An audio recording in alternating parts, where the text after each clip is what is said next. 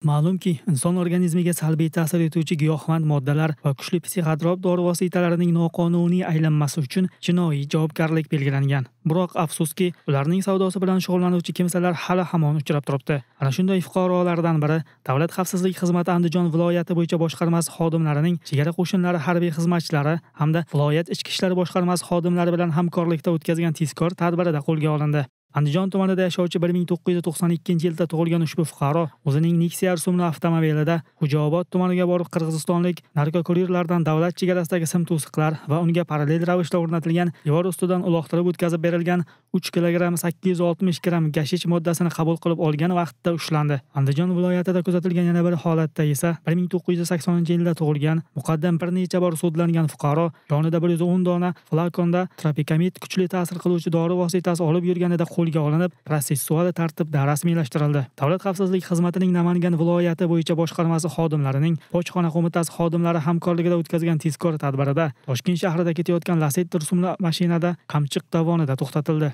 Namangan shahrida yashovchi 1987 yilda tug'ilgan fuqaro boshqaruvidagi avtomashina ko'zdan kechirilganda, uning salon qismida va yukxonasida 1680 dona flakonda tropikamid kuchli ta'sir qiluvchi dori vositasi borligi aniqlanib, o'rnatilgan tartibda olib qo'yildi.